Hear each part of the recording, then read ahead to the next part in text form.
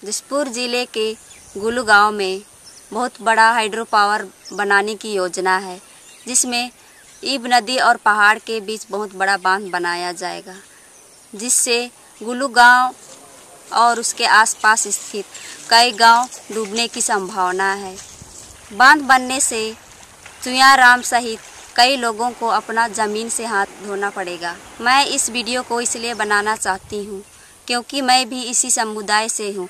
और मेरे साथ भी ये समस्या हो सकती है। इसलिए मैं चाहती हूँ कि ये बाँध नहीं बनना चाहिए।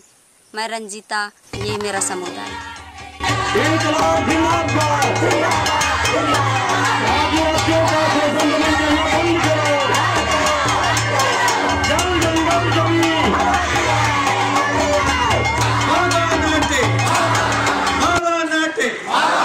तो मतलब ये हो गया कि यहाँ पर हमारा राज है। चाहे मुख्यमंत्री जी आ जाएँ और चाहे कलेक्टर साहब आ जाएँ, यहाँ पर तो हमारा राज है ही। आपका जो गाँव है पूरा पानी के डूब क्षेत्र में है। ये मेरा बनाया हुआ नक्शा नहीं है। हमने शासन से इस नक्शा को लिया है। कंपनी ने अपने विभागीय दिए आप बाद में अपना अपना गाँव ढूंढ लीजिएगा कि आप कहाँ डूबेंगे, कहाँ मरेंगे, कहाँ बचेंगे। कंपनी के लोगों ने खुद कहा है, कंपनी के इंजीनियरों ने खुद हमें कहा है कि सन्ना तक पानी का जमाव रहेगा तो आप कल्पना के- कर लीजिए सन्ना के नीचे जो लोग हैं डूबने के लिए तैयार हो जाएँगे।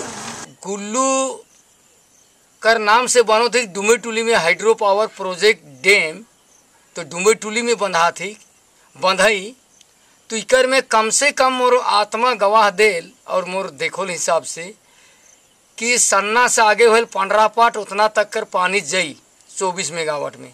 ये पक्का ऑलरेडी ही के? पहले तो तीन ठू पंचायत डूबी कौन कौन आलोरी पटिया और रिमने। ये पहले जई और दूसरा में पहुँच जाए पंद्रह पार तक पानी। ये निश्चित गारंटी है कि।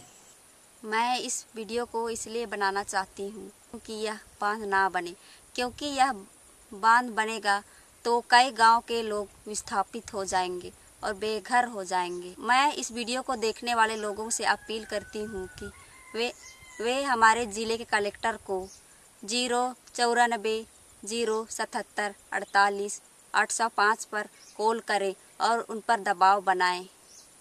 मैं रंजीता, जिला जसपुर, छत्तीसगढ़ से, इंडिया अनहर्ड के लिए।